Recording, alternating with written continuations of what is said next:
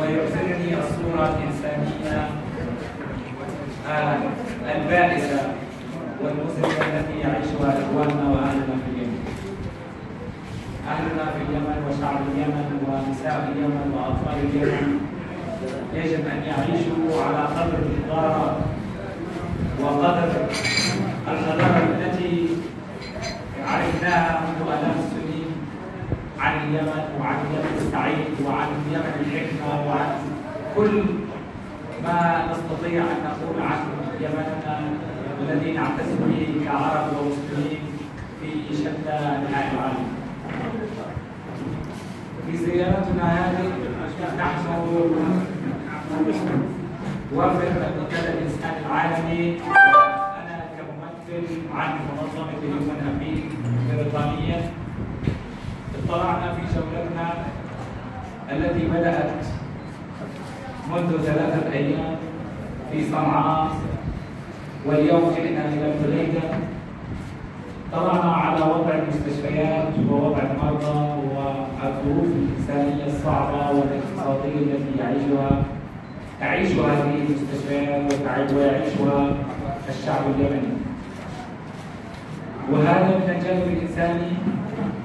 البحث يستدعي كل الضمائر الإنسانية أن تأتي هنا وتقدم يد المساعدة ولا تتوانى لحظة واحدة في تقديم هذه المساعدة لإخوانهم وشعبهم شعب اليمن العربي.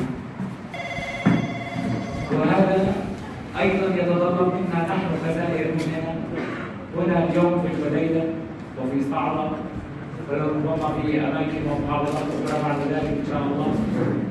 أيضا يتطلب منا أن ننقل هذه الصورة الحقيقية التي يعيشها إخواننا في اليمن إلى الخارج وإلى المنظمات المنظمات الإنسانية الأخرى التي نتعاون معها. ونضع جهودنا مع بعضنا البعض ونكثفها من أجل الإسراع في تمويل كل هذه الاحتياجات والمستلزمات الطبية والأدوية وحتى أيضا الغذاء. وأيضا وجودنا هنا في الحديدة يستدعي القول بأنه وجود مهم جدا لأن الحديدة هي أكثر المحافظات حسب الإحصائيات والتقارير الإنسانية الدولية وتقارير الأمم المتحدة. من أكثر المحافظات المتضررة والمحتاجة والمهمشة. ولذلك نحن إن شاء الله سنسخر جهودنا من أجل القدوم إلى الحديدة وإبراز العمل فيها وإن شاء الله عمل المزيد من الجهود من أجل مساعدة إخواننا المسلمين. كنا في صنعاء يوم أول أمس وذهبنا إلى مستشفى الجمهوري ومستشفى السبعين ودخلنا إلى أقسام العزل الخاصة بمرضى الكوليرا التي تتفشى يوما بعد يوم وأيضا هنا اليوم في مستشفى العمري. والوضع فعلا يهدد كارثة إنسانية ستدخل بيت كل يمني ولن تفرق بين مسؤول وغير مسؤول. ولذلك هذا يعني إنذار كبير وكارثة. يجب على المجتمع الدولي وكل المنظمات الإنسانية والمجتمع اليمني أن يتكاتف معا دون النظر إلى أي حيثيه أو جوانب أخرى يجب أن نتكاتف معا للقضاء على هذه هذا المرض وعلى هذا الوباء الذي يعاني منه الصغير والكبير والشيخ والمرأة وكل إنسان موجود في اليمن. قلنا الحمد لله فورا بمساعدة إخواننا في مستشفى الثورة ومستشفى الجمهوري ومستشفى السبعين من أجل تزايد الحالات بشكل مستمر آه، وعدم كفايه الأسرة. فقمنا بإحضار 50 سرير وبفرشهم لهذا لهاتين المستشفياتين وأيضا هناك 50 أخرى أيضا مراكز جديدة للكوليرا سيتم فتحها بالقريب العاجل في صنعاء.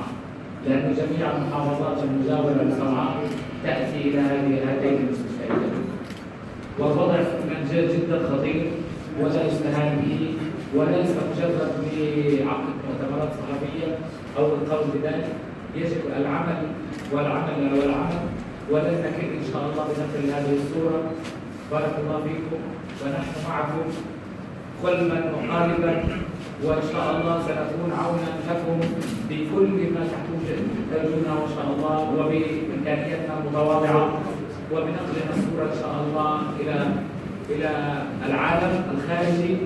إن شاء الله يكون له اثر ايجابي على تغيير هذا الوضع الإنساني في اسرع وقت شكرا جزيلا. والسلام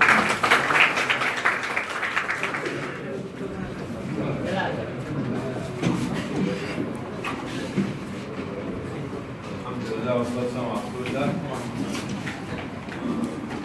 إجمالا ما قاله الدكتور محمد السوسي جالسنا الوضع الإنساني في محافظات اليمن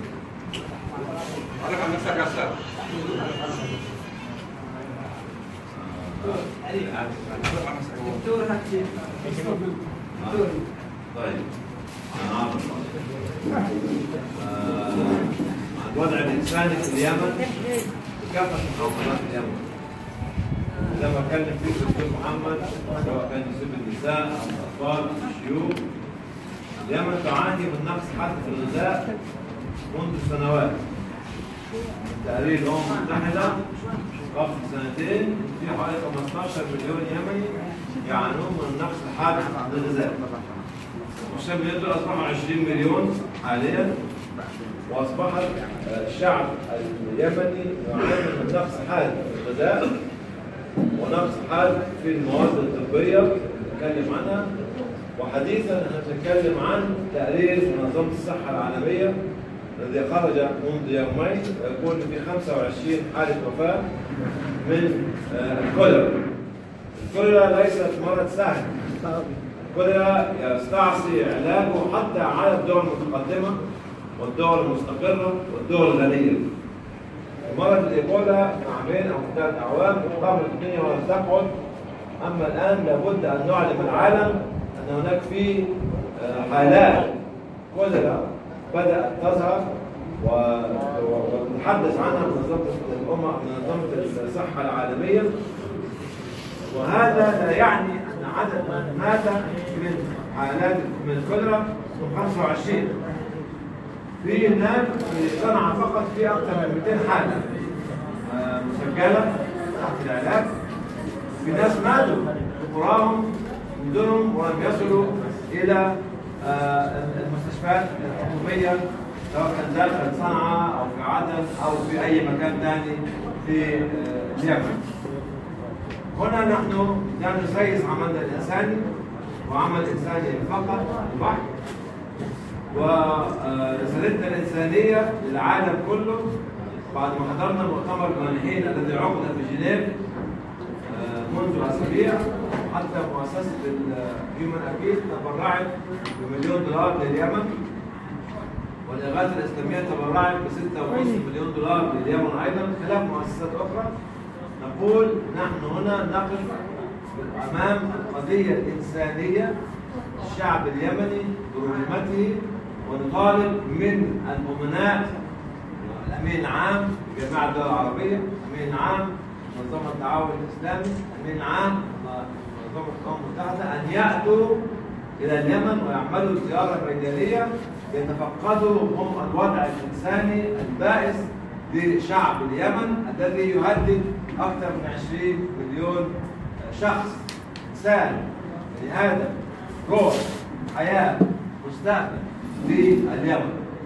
ولذلك لابد أن نوئي وإلى الأبد الكوليرا